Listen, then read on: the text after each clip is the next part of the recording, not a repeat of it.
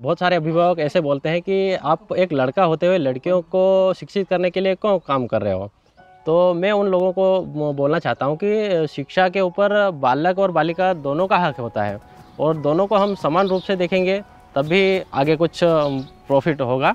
मेरा नाम रामू देवल है। मैं एजुकेट गर्ल संस्था से पिछले चार सालों से टीम बालिका स्वयंसेवक के रूप में कार्य कर रहा हूँ।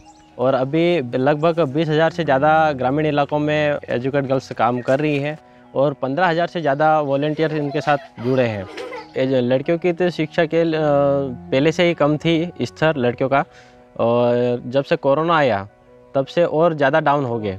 तो हमने लोगों को जाके समझाया, उन लड़कियों को समझाया कि आप सभी घरों में कैद थे कोरोना के कारण इधर उधर मिलना जुलना भी बंद था। तो हमने लोगों को समझाया और जब एजुकेट गर्ल्स कैंप विद्या लेके आई तो हमने एक ऐसा स्थान चॉइस करा जहाँ पे सभी बालक, बालिकाएँ आ जाए और उनको ज़्यादा दूरी तय ना करना पड़े। तो हमने एक ऐसा मोहल्ला देखा और उसमें कैंप विद्या का आयोजन किया जिसमें 18 से 19 बालक, बालिकाओं को हम रोज़ाना पढ़ाते थे।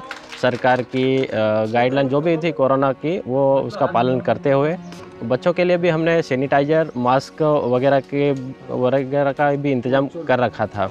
रोज़ाना उनका सैनिटाइज़र हैंड वॉश करवाना जो भी लड़कियाँ शिक्षित होती हैं और अपने यहाँ हमारे गाँव में भी आसपास की जो लड़कियाँ हैं, वो पढ़ लिख के बहुत आगे भी गई। अभी हमारे यहाँ से दो डॉक्टर भी हैं, लड़कियाँ ही हैं वो, और एक एसआई भी है। और हमारे गाँव में एक महिला सरपंच भी है। तो वो शिक्षा के कारण ही आगे है। अभी चार साल तक जब से मैं जुड़ा हूँ, एजुकेट गर्ल्स संस्था से तब से लेके आज तक मैंने 50 से अधिक बालिकाओं को शिक्षा से जोड़ा है।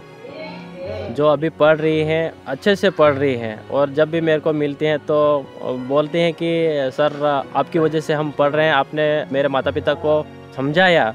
ये सुन के मेरे मुझे बहुत गर्व महसूस होता है कि मैं अच्छा कार्य कर रहा हूँ और आगे चल के भी और अच्छा कार्य करने की कोशिश करूँगा।